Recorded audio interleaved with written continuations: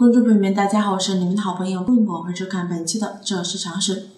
冬天睡觉蒙头睡危害太大，一影响呼吸。我们睡觉时依然需要呼吸新鲜的空气，但是当你蒙头睡觉，可能会使得呼吸道不好的空气，被窝中糟糕的空气被你吸个不停，容易造成细菌感染，进而会诱发呼吸道炎症。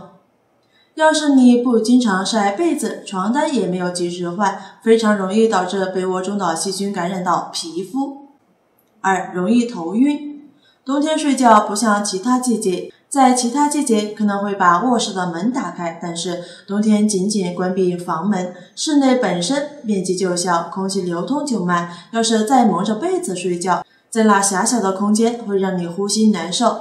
被窝中氧气慢慢减少，二氧化碳不断增多，在第二天醒来时容易头晕头痛，这无疑非常糟糕。冬天蒙着头睡觉，其实最重要的还是怕冷。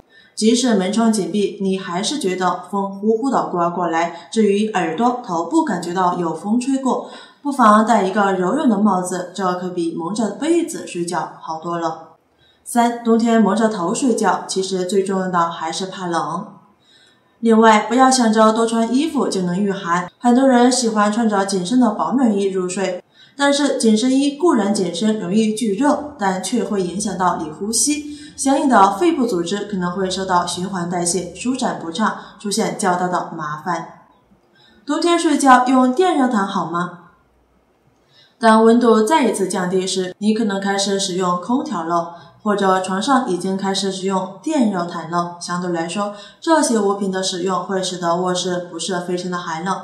就电热毯来说，要考虑一些事情。在一直供电状态下入睡，身体确实非常暖和，不会感到非常的寒冷，但时间一长会让人出现口干舌燥，让人脱水加重，情况更加严重，甚至会造成电热毯发生短路，出现了燃烧。每年因为电热毯着火引起的新闻足以引起人们的重视。与电热毯相比，冬天不妨使用热水袋，能更好的促进体温的调节。好了，朋友们，感谢关注，主要是常识，了解更多常识，咱们下期节目再见。